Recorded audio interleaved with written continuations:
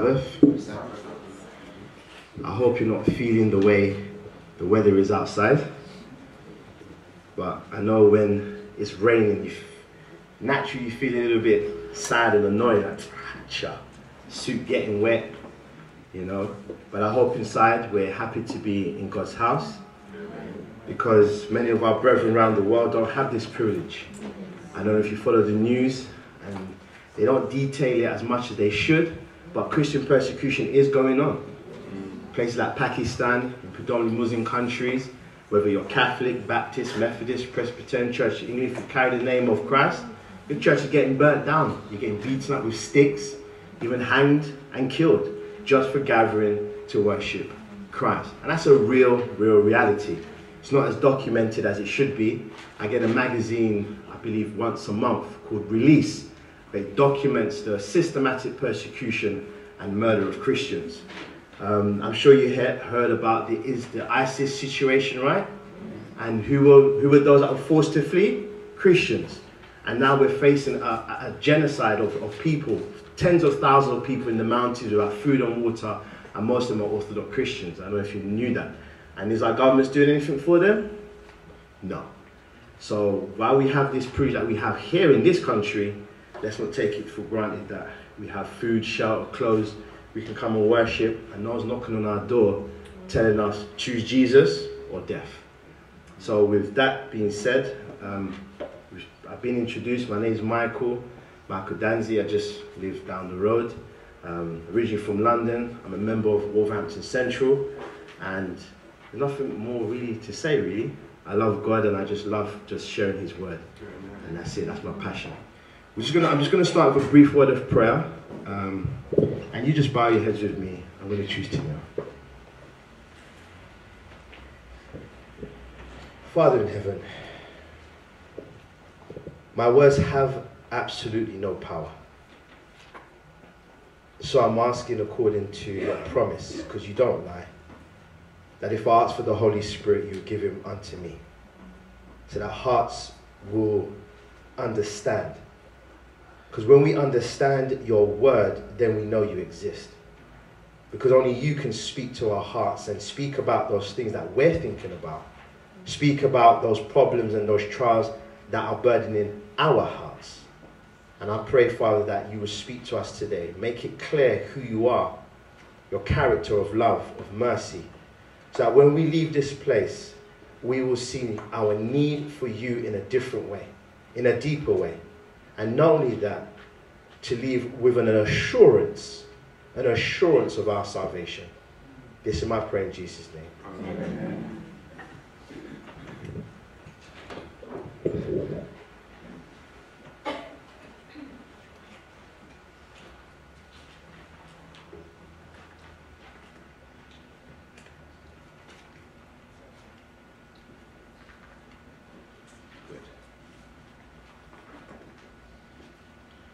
chosen to title the presentation today. Can everyone see that on the screen all right? Ah, you lot don't know me, you know. I'm going to wait for responses. Can everyone see that on the screen? Yeah. Okay. All right. You may not be used to getting feedback, but you know, gonna, with me, I like some some feedback. Um, is Jesus better than reality? Is Jesus better than reality. I want to start with this statement. What is reality? What would you say reality is? Shout out some words, some phrases. What is reality? Give me some thoughts, some ideas. What comes to your mind when I say, What is reality? What would you say? Come on, what would you say? What's reality? Now. Now. What else? Truth. Truth.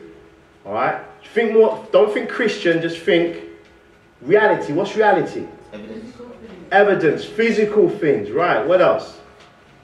We associate reality with things that are real, right? Fact, truth, things you can see, you can hear, things you can establish, correct? Reality doesn't has nothing to do with deception, fraud. Reality is based on truth, facts, things that's actually going on. Something that is real, correct? If the, the Bible makes a claim the Bible makes a claim. What is that claim? Go with me to John 17 17. The Bible makes a claim. What is reality? Reality is those things that are real. Facts now bears witness of truth. Reality. John 17 17, the Bible makes a claim. John 17 17. Are we there, church? Visiting friends? John 17, 17. The Bible makes a claim. What is that claim that it makes? John 17, 17. Jesus is praying in this context. these are the words of Christ. Notice what he says. John 17, 17. Sanctify them through thy truth. Thy word is what? Truth. truth. If the Bible then is truth, if the Bible is truth, that means it must speak about reality. It must speak about your and my experience. Does that make sense? Is that simple premise? The Bible must speak about the world's reality. Does that make sense? If the Bible Bible's true, but it had nothing to say about what's going on, wouldn't you question it as being the truth? Wouldn't you? Right? If it had nothing to say about your reality and my reality, wouldn't you question it as whether it's the truth? This is why young people question the Bible as being true. Because they don't hear from the pulpit, from the home, from the Sabbath school, things that are to do with reality. They don't see the relevance. We don't explain it in a way that they can see that the Bible is very real because it's speaking about things that are going on right now. And I'm going to touch on something that the Bible has that speaks of reality. And that thing is called prophecy. Prophecy speaks about history in advance. Events that's taken place so one can see with their beady eyes what has taken place in correspondence with the Word of God to see, hey, the Word of God said this prior and I can see it took place. That's reality. That's reality. Go with me to Isaiah 46, 9 and 10. What is the purpose of prophecy? Isaiah 46, 9 and 10. What is the purpose of prophecy? Isaiah 46, 9 and 10. Because biblical prophecy speaks about reality, things that have gone on and things that are going to take place. But what is the purpose of Bible prophecy? Isaiah 46, 9 and 10. The Bible says this. Are we there? It says, Remember the former things of old, for I am God. And there is what? None else. Pause it for a moment. Isn't that a bold claim? That is not politically correct today in our society. You go around saying that God is the only God and you must worship Him. He's the only way. You see how quick you're going to be persecuted by your friends and your family. Let me illustrate. If you was to say today that I believe in one man, one woman is the true definition of marriage, you see how quick you're going to get laughed at at school. For those of you that have jobs, if you used to say in your workplace today, I believe that the lifestyle of homosexuality is wrong, you would be fired or you'd be sent to training. Amen? Amen. I'm not talking food for am I? That's fact, right? That's reality, right? That's the present reality you live in, that you are not free to speak your belief without persecution. Is that reality? But then the Bible tells us that that state of things that's going on in the workplace will happen. Did that exist 50 years ago in our country? It was illegal to be an open practicing homosexual. Illegal. 99% of the whole entire nation of England frowned upon it. You had to do it in secret. You couldn't be an open, as they say, he's come out of the closet, are the that's given. You couldn't be an open practicing homosexual because the thinking, the mindset of people was still in harmony in this area with the Word of God. So today, not literally saying, oh, God is the only way, that's not going to rile up people. But speaking his principles will rile up people. say, no, no, no, the Bible says this, and that's the only way to live. Live an opposite way, and there's consequences. What are you talking about? I'm saying getting married with a man and a woman is what the Bible condones. You see how quick persecution is going to come against you. So when the Bible says, there is none else, I am God, there's none like me. Why is God so bold in this area to declare that there's none like him? Verse 10 gives us the answer. Declaring the what? Declaring the what? The end from when? The beginning. And from ancient times, the things that are not yet done. Past tense or future tense? Future tense. Declaring the end from when? The beginning. Prophecy. God says, in this area, there's none like me because only I have the power to prophesy and delineate events perfectly before they even take place. Study the Quran, absolutely not one prophecy. Study the Hindu scriptures, no prophecies. Study the Buddhist scriptures, no prophecy. And every other religious book in the world that claims to be inspired by some deity has no prophecies. Only the Bible. And yet we suddenly hear about the prophecies. When this church, if you didn't know, I'm going to tell you and go and do your research. This church was founded upon prophecy.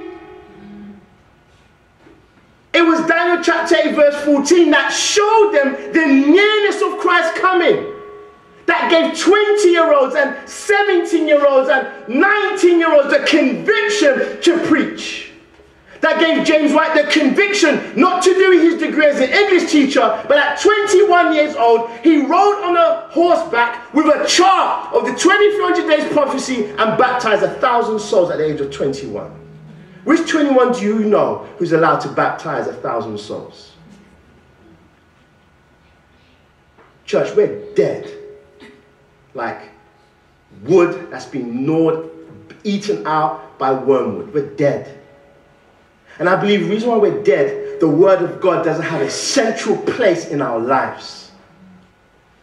When Ezekiel saw the valley of dry bones, just bones lying on the floor. He's like, what on earth is going to make dead bones live? God said, preach, prophesy. Then all of a sudden, as he spoke the word of God, those dry bones connected to each other. Flesh was put on those bones. And then he saw an army of the Lord and he said, Well, what has given these dry bones life? He preached the word of God. Because the Word of God has life because it speaks about truth. It speaks about reality. And what is the reality of our sinful condition? What is the reality of this world? Let me read for you something that's going to really, really, I want, I want you to be agitated today. I want to agitate you to the core because we're so dead, it's nauseating. We're so dead. The Bible says, Jesus says, and you're going to look at me and say, Mike, what are you preaching? False doctrine? Jesus says, my church makes me sick. Do you want to read that? Do you want to read that? Go to Revelation chapter 3. These are not my words, church. Revelation chapter 3. Revelation chapter 3. Let's turn to Revelation chapter 3. Notice, I was reading this last week. The pastor was preaching, um, I believe, no, the pastor, the elder was preaching on Revelation 3. And as we're speaking about the church's true condition, its Laodicean condition, we're not hot, we're not cold. These words came to my mind as he's read this text. We make God sick. Now listen to me, read this with me. Revelation 3. Okay? Revelation 3. We're reading from verse um, 15. We read, we're reading verse 15. Are we there, church, and visiting friends? It says this, I know thy works, that thou art neither what?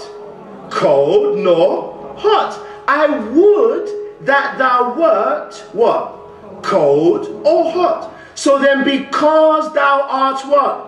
Lukewarm in the middle, and neither what? Cold nor hot, I will spew thee out of my what? Who is he speaking to? The world?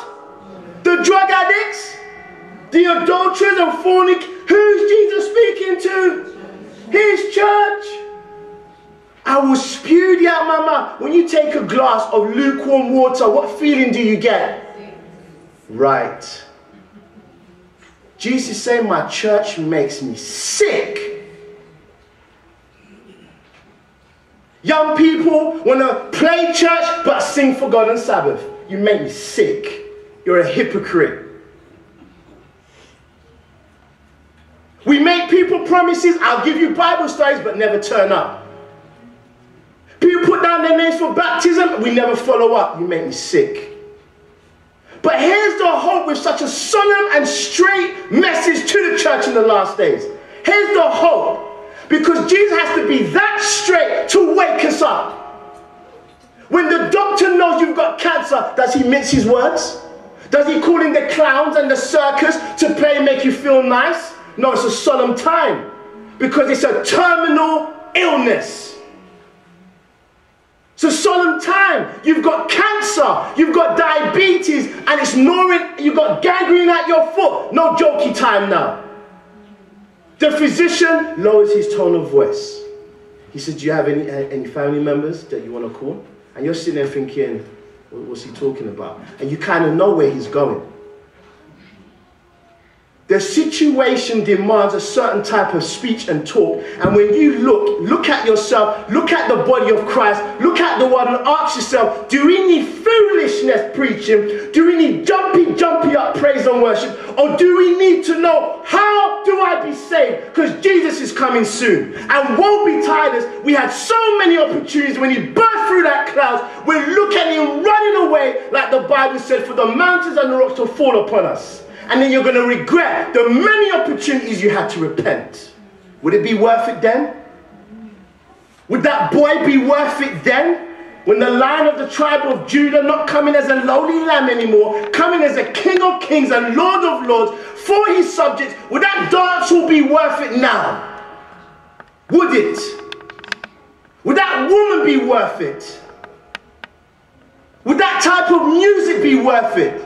When he burst through those clouds, looking with fire in his eyes, coming as a judge, not as a savior, because that time is up, will it be worth it? No, it will not. Solemn times. The elder talked about signs of Jesus coming. This elder talked about signs of Jesus coming. And I sat and I prayed this morning, Lord, what shall I preach? I had my manuscripts out. Lord, which one I was praying? Every time I go to speak, it is not a human thing, it is a God's divine appointment. So I don't come in with my own words. I don't come and depend upon myself. I need to know what do God's people need, and only He knows that.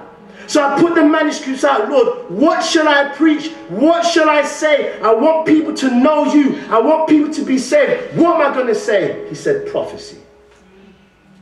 And when the elder talked about signs of Jesus coming, when this elder next to me, Horatio, talked about in his prayer, signs of Jesus coming, we can see the signs. I bow my head, I said, and you're real. You answered my prayer. That's why I'm bold like this. You might be thinking, what's going with this guy? Because I know God is real because he spoke to me on what you lot need today because he knows your heart. I don't know your heart. I don't know your trust. I don't know your pride. I don't want to know. I'm not the Savior. I can't take it. I'm a human being. But God knows where you are at and God knows where he can bring you. Amen? Now let's read Revelation 3 because here's the hope. I said, here's the hope. You can't hear things like that and be hopeful. You make me sick. If you don't, you know, I'm going to spew you out. No, no, no, no, no, no, no. That's not the gospel. That's pointing out only the problems. The gospel, the word gospel means good news. Amen. So, Michael, where's the good news then? Look at me in verse 19. Where's the good news? As many as I what? Hmm. as many as I what? What does he do? I rebuke and chasten be zealous, therefore, and repent.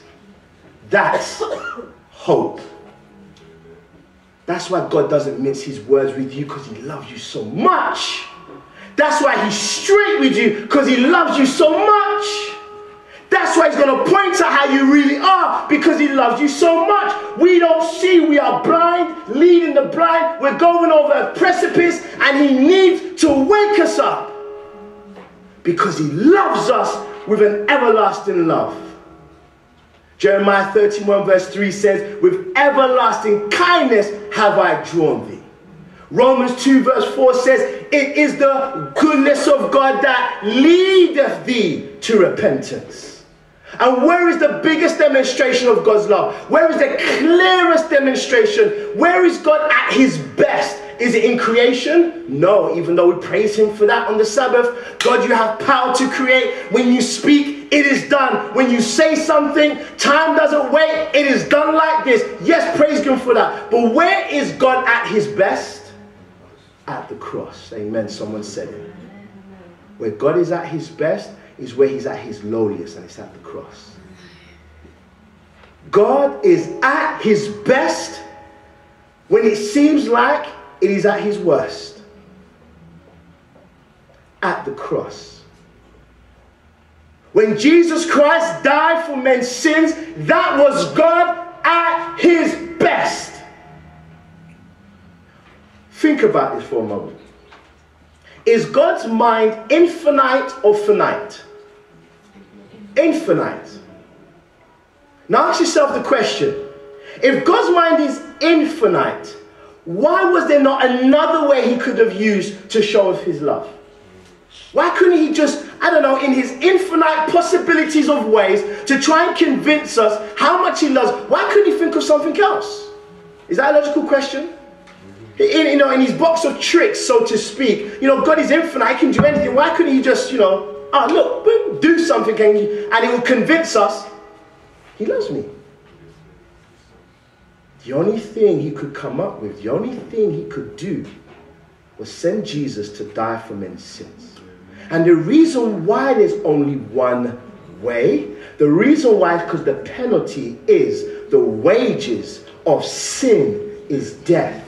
So if that's the penalty, if that's the consequence, it's almost like I put it in illustration. One has diabetes. And if diabetes can be cured, then that means because of the nature of the problem, then there can only be one solution. Does that make sense? All right? So, uh, you know, if anyone's had wood, um, what's those little creatures that um, eat wood? Wood, is it, no, they eat wood. Termites. Termites. All right?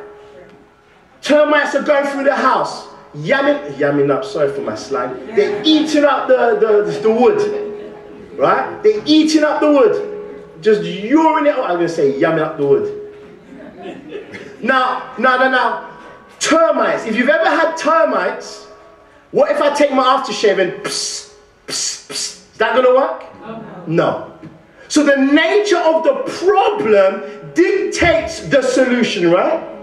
So the Bible says the wages of sin is death. Are you telling me I don't deserve to have life? That means there's only one solution. Once someone has to pay for my debt. And that person to pay for my debt must have what? Eternal life. You can't pay death with death. Does that make sense? Because you haven't paid it, because you're dead. You haven't paid the debt, you're dead. If I pay for my debt, I'll be dead. I haven't paid for it. So what do you need? You need life. Now, how did sin enter into this world? The Bible says it was through one man called Adam.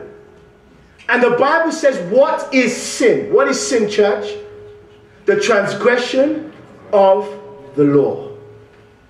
Sin is not just, just, just this thing. We think of sin as just, you know, actions and just just this thing. No, sin is the going against a standard. Our government has a standard, laws to govern and keep safe those who are obedient and to punish those who are transgressors. Every governor on the earth has laws to keep the well being of society together. Well, what is God's jurisdiction? Is it only this earth or is it the entire universe? The entire universe. So God has a law for the well-being of the universe. But one chose to go against that standard. Who was that? Satan. But God couldn't destroy Satan immediately because none actually fully was aware to the true intents of his purpose. How do we know that? Isaiah 14, verse 12 and 13. Go with me there. How do we know that? Have you ever wondered why didn't God destroy Satan straight away? Have you ever wondered that? It's a very sincere question. I've wondered that. When I first came to Christ and started studying my Bible, that was one of the main questions. Why didn't you just destroy that wretch? Why you let him go on and then ask me to resist him? And then if I lose, I'm gonna be lost. Like it's my fault. Now don't pretend like you ain't had that question. Don't pretend like you don't wonder that sometimes. Because the reality is God is okay up in heaven. Jesus is okay. He conquered him. Okay. I'm here in this sinful world being battered left, right, and center. And sometimes I feel like I have no strength. And then God's going to judge me and say, Sorry, you never made it. So we have to understand God's character. We have to understand. Because for us to follow him, we need to know if he's fair and just. Does that make sense? Look at Isaiah 14 very quickly, talking about the biography of Lucifer. Look what it says in verse 12. How art thou fallen from where? O heaven, O Lucifer. Talking about Satan himself.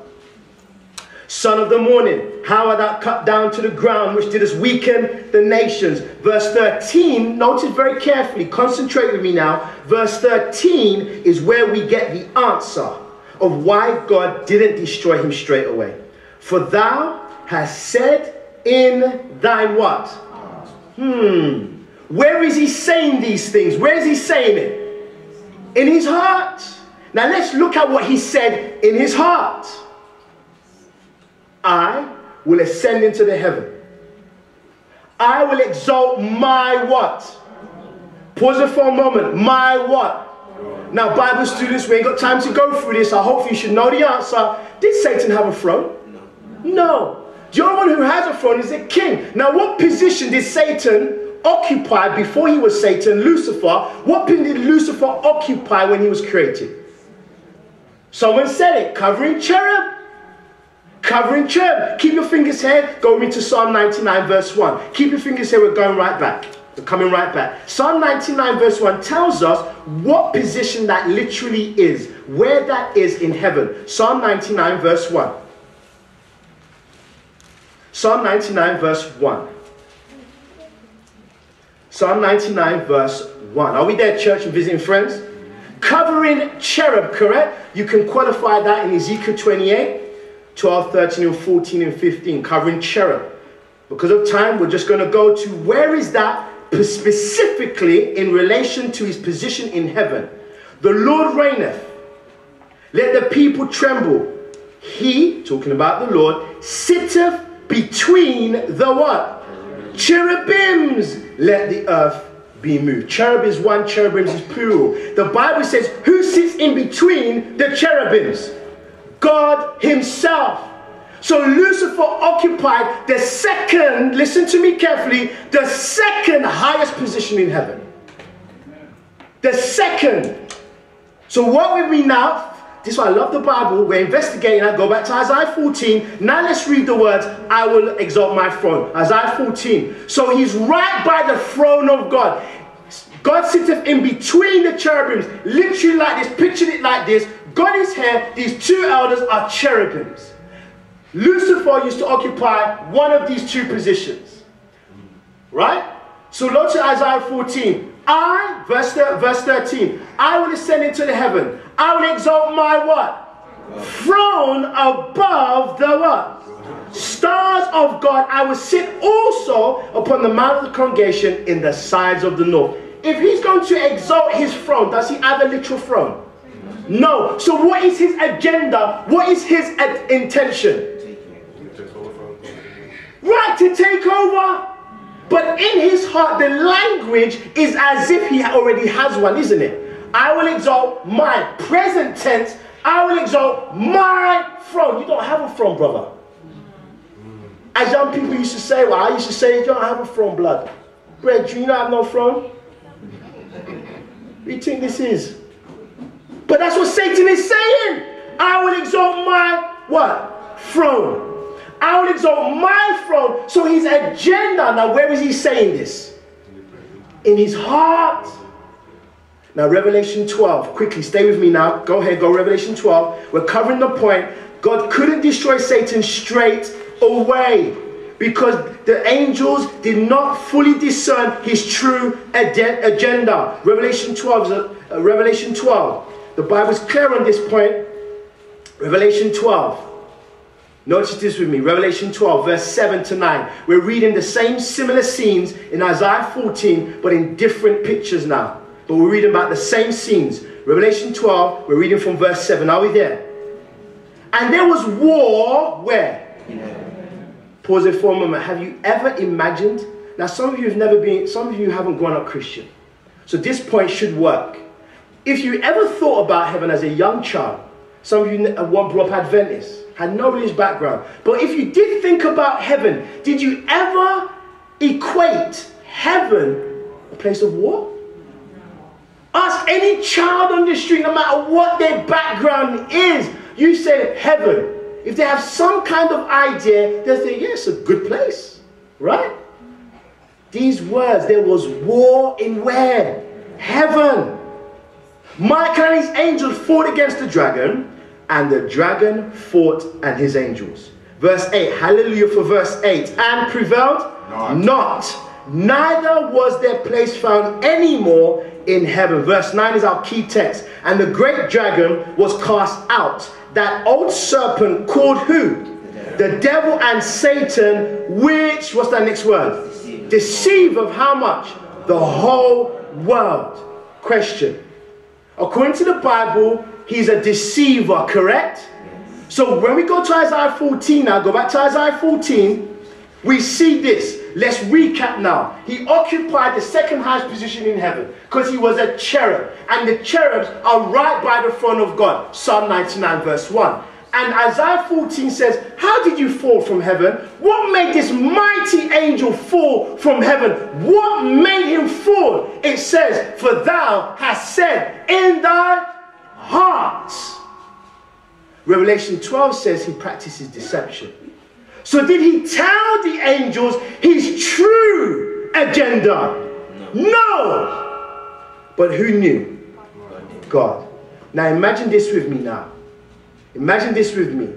War has broken up. Two sides have loomed. Two sides. We read in Revelation 12, Michael and his angels, the devil and his angels. God kicks him out because two sides have voted. Does that make sense? Does that make sense? Two sides have voted. We're at home. You don't live by my rules anymore. I've given you chance. I've given you chance. I've given you chance. I've given you chance. I've given you chance. And particularly the nature of your problem is going to affect the whole household. Does that make sense? The only time I believe parents should cook out children is when the problem itself, the problem itself is going to affect the whole household. If it's going to affect the whole household, let me give you a simple example. Let's say that my temper was so bad. No, let me keep it more simple than that. Let's say I was bringing drugs into the home.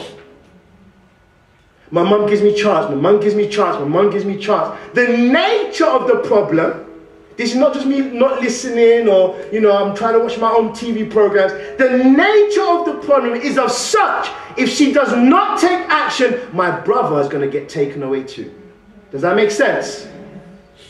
So the nature of the problem was such, you've decided, right, you've decided, now I can kick you out. That's, the, that's as much as I can do. But he couldn't destroy Satan right then and there. If God went zap, what would have the good angels have thought? Fearful. Because they would have said, why did you destroy him? And if God said, well, I knew his heart, I knew he actually wanted to take my throne and murder me. They're like, what proof is there of that, Lord? There was none. Because Isaiah says he said it in his heart. The Bible says he's a serpent. He deceived the angels to the true intent of his campaign. He's like an MP trying to set up a new government. I will set my throne. That's a new order. That's a new government, new laws, new requirements. I want this one to exist. Some angels said, you know what? He has a point. But they didn't fully understand the true implications of following Satan.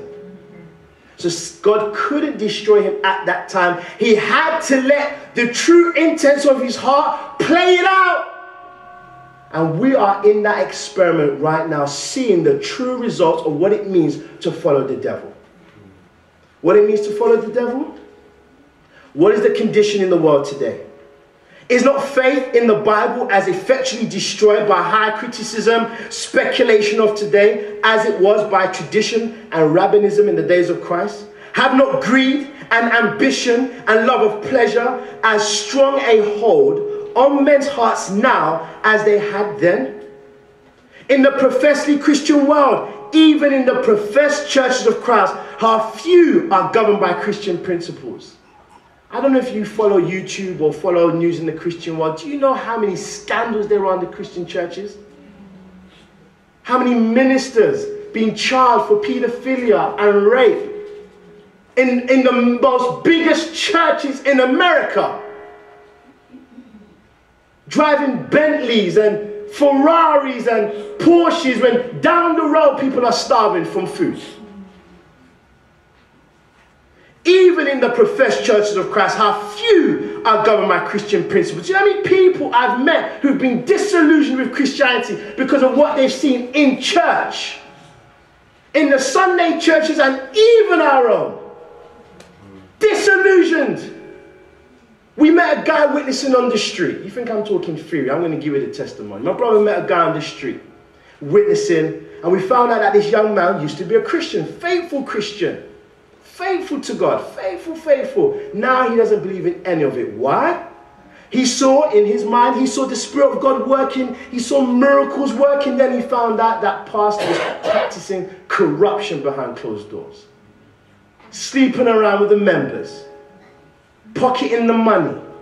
But yet he said, How on earth can the Spirit of God be using him, but at the same time he's living in known secret sin?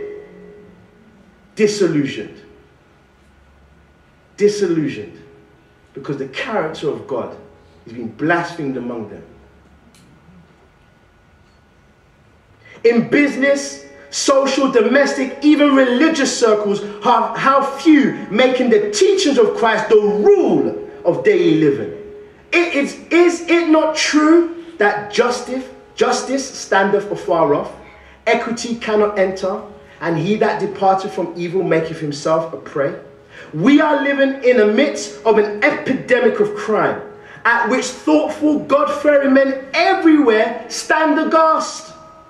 The corruption that prevails, it is beyond the power of the human pen to describe. Every day, fresh revelations of political strife, bribery, and fraud every day brings its heart-sickening record of violence and lawlessness of indifference to human suffering, of brutal, fiendish destruction of human life. Every day testifies to the increase of insanity, murder, and suicide. Who can doubt that satanic agencies are at work among men? With increasing activity to distract and corrupt the mind and defile and destroy the body. Example, Fusilier Rigby, age 25, run over and then butchered by Michael Adebolajo and Michael Adebowale in May 2013 on a street in Woolwich, southeast London, in front of numerous witnesses in broad daylight. They tried to sever his head in broad daylight. And if that don't wake you up, nothing will. So I will not apologize for raising my voice. I'm not apologize for being excited and passionate. When I saw that, I feared for my household. But we are so benumbed to sin that we can see that on the TV and not run to Christ. People were standing by, looking at a man getting said seven in broad daylight. And we sit here and we just like, signs of the times. If that doesn't move you to witness, if that doesn't move you to save some souls in your family, you are dead. And the only thing that may wake you up when it's too late and the seven last plagues start falling on this planet. ISIS is going around putting videos on YouTube. I've never watched any of them because I don't want to watch them. beheading people. And the news media is promoting that. That's, and I read an article today that where one news report said that's desensitizing people to how bad the situation is. Even the world can know that. Beheading people in broad daylight. Chopping up women, putting them in suitcases in the back of their gardens because of religious convictions. She was from one religious um, faction and she went to marry another man from another religious faction. The father chopped up in pieces. I'm reading this, I'm saying to myself, Lord, what are we as a people doing? I open the newspaper, the Express and Star. All I read is murder, crime. I'm like, I ain't paying for this nonsense no more. I want to read this. It's discouraging. It's depressing. And in the place where we should be getting hope, the place where we should be getting encouragement, the place where we should be getting motivated to deal with the inward evil in our hearts so we can deal with the outward evil in our hearts, we don't get no encouragement. To be battered and bruised from within when I have enough problems from without. That's what many people are saying to themselves, especially young people. You don't know the trials that I go through. Do you know adults? Let me paint a picture for you, adults. I know some of you are living in cuckoo land. Do you know your young people get posted, young men? Do you know, do you know your young people get images of naked? The, the, let, me, let me slow down. I'm getting too excited. Do you know young boys get images of naked girls sent to their phones? Did you know that? Your sons, that's right, your sons. Talk to them. We, that didn't happen in my school because we didn't have mobiles. Young girls offering what you know what, you know what I'm talking about, offering it to them in school. We are going lower. I know what's the next generation going to be like. In the toilets, the thing is done in school. How do I know this? Because I talk to the young people and they tell me what they see. So we need to hear something of power. The Bible says, For I'm not ashamed of the gospel of Christ, for it is the power of God and salvation to everyone that believeth. The gospel is not about your power. The gospel is not about my power. The gospel is God's power. God's power to redeem sinners from the corruption that Satan has brought them through. You don't think we need power after I've just mentioned some of these things? Is the gospel only to the church? Is the gospel only to the good people? The gospel is even to fanatical ISIS members of, of Islam. That's power. Who was Paul? Who was Paul? Was he a good man? He thought he was. What did he do, church, before he became converted? Persecuted. What does that mean? He killed Christians. He was a murderer. You hold, your, you hold in your hand a book that most of the New Testament was written by a former murderer. Moses, the Bible declares, the meekest man on the earth. You hold in your hand a book where he wrote the first five books of the Bible, but he murdered a man with his bare hands and buried him in the sand. David wrote the largest book in the Bible. Adulterer planned it and conspired to get her husband murdered. He wrote the largest book of the Bible, Psalms. If those guys stepped into church today, we would, we would censor them. We wouldn't trust them with the treasury. We wouldn't trust them to do the gospel because of their past, because we don't believe in the changing power of the gospel. The very book you hold is with men were wicked before they met Christ, men who were degraded before they repented of their sin because of the cross that they saw. That's why I love this book because it's not made up of people who claim to be perfect. It's made up of people who are transformed by the love of God. It gives me hope. I don't stand here professing any goodness, but I stand here professing that I know God can change hearts. I'm going to close. I'm going to close with this um, statement. It's from Steps Christ, page 18. Church. God loves us, amen. amen. And I'm so glad that when I was doing my foolishness, I'm so glad that when I was in the world, and I'm not going to tell what I used to do. When I was in the world, and what I mean by in the world, that doesn't mean, you know, I didn't go church anymore. That doesn't mean I didn't, you know, have some kind of faith in God. I did, I sincerely did. But my life wasn't a reflection of the God I said I served. And I didn't know what that really meant.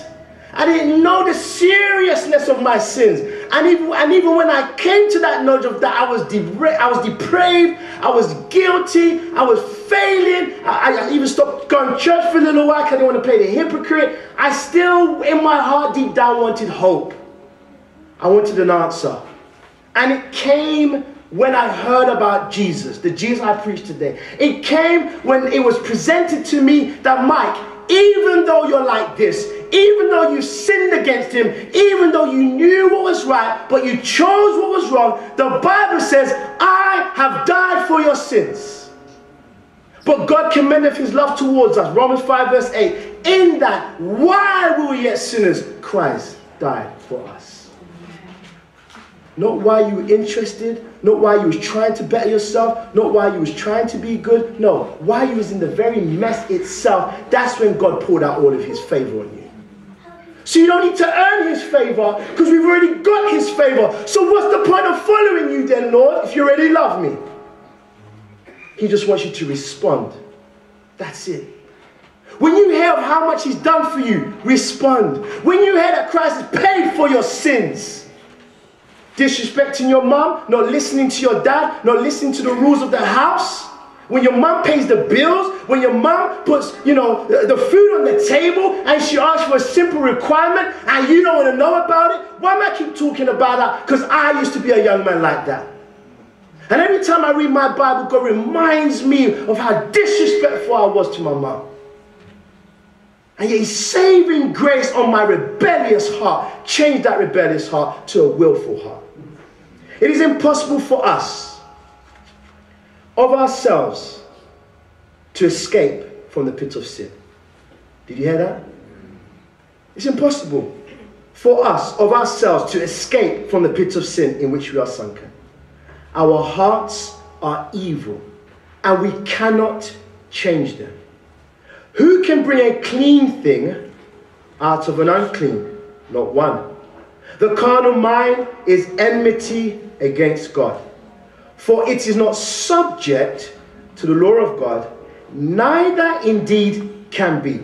Job 14, verse 4, Romans 8, 7. Education, culture, the exercise of the will, human effort, all have their proper sphere. But here, they are powerless. Did you hear that? The human will doesn't make you a Christian. Education cannot make you a Christian, cannot change your heart. Here in this fear to change one's heart, it's powerless. It's powerless. We can put on nice clothes and come to church on the right day and believe the right doctrines, but if the heart's not changed, you're going nowhere. Don't kid yourself. You're going nowhere.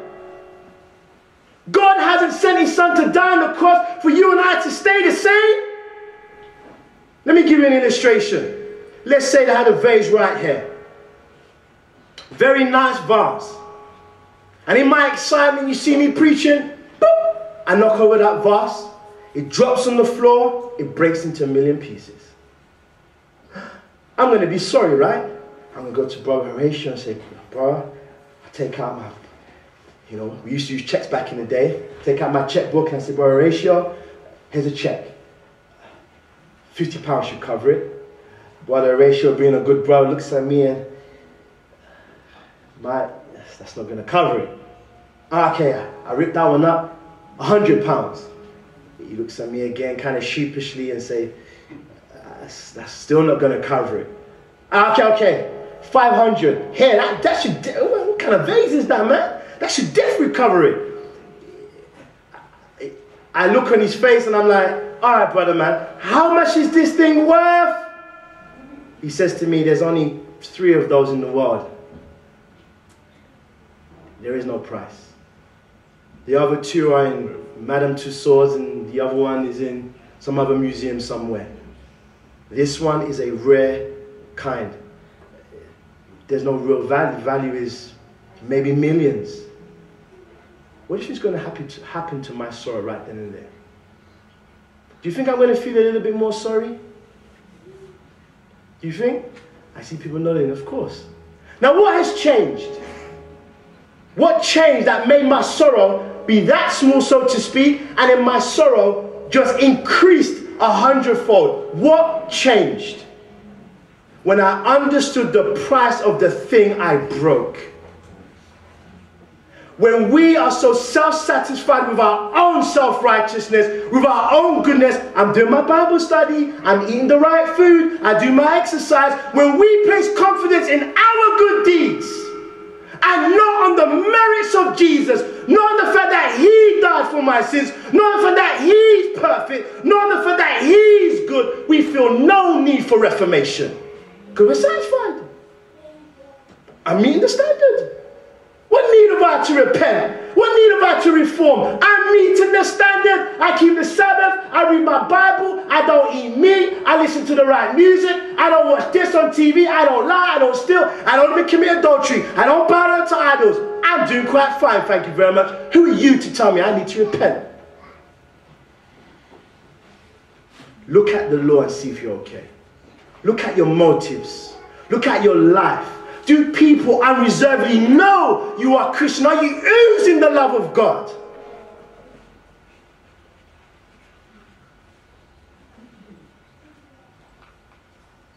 Here they are powerless. They may produce an outward correctness of behavior, but they cannot change the heart. They cannot purify the springs of life. There must be a power working from within. A new life from above before men can be changed from sin to holiness. That power is Christ. That power is Christ. His grace alone can quicken. That word quicken is an old word to mean give life. They can quicken the lifeless faculties of the soul and attract it to God to holiness. The only power that can change our heart from sin to holiness is Christ. And that power is the grace, the love of God. That's the only thing that can do it. Not willpower. You need willpower, but all willpower does, it allies yourself to take hold of the rope that's going to save you. All this will does, it makes you move, but it cannot change. And as soon as you will to obey, God supplies the power to change. That's all willpower does. God loves us very much, church. He loves us very, very much. And He's not willing that any of us should perish but that all of us should come to repentance. And my appeal is very simple. My appeal is very simple. I've got two appeals. The first one is to those, and I'm speaking especially to young people because this was me. You've grown up in church, you do believe in God, you have a belief in God, you believe in the Bible, but you know you're not a real Christian. You know the things I've said. New to you today. You know your heart, the heart, it doesn't beat for Christ. Your word, your conversation doesn't talk of Christ. Your love, your love is a love for the world, but not for holy things. That's evidence you're not changed. I used to be there, I know what it looks like. Do you love Bible study and pray? If you say no, you're not changed.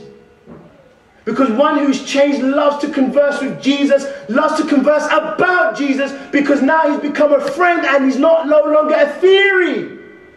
He's not a man who he hears about, Now that man is someone that dwells in their heart. Young people, young person, I'm speaking to you. If you want Christ to change your heart, as this passage says, as inspiration says, I'm giving you opportunity today to receive that gift in Jesus' name. Come to the front.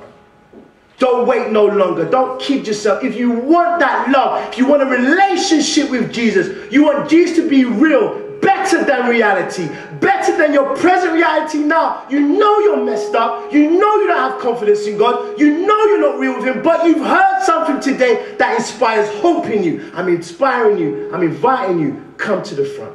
That's my first appeal. Second appeal for those of us who have given our lives to Christ. But we know in our hearts we've fallen back. We know in our lives we're not doing what we know we should be doing. I'm inspiring you as well to come to the front, to receive a revival from Christ today. You want to be genuinely revived. You want to live like Jesus. You want to be like Jesus in every single. Yes, you've given your heart to God, but you know you've fallen back. Wherever that is, you know where that is. I'm inviting to the front. Young person I'm speaking to, you want to be like Christ. You want to be a genuine Christian. You want to have power to save you. You want that. I'm invited to come to the front. That's my first appeal. My second appeal for those who want revival as well. As I pause to give you time to think, I pray that you pray in your hearts to make the right decision today. For you might not get it again.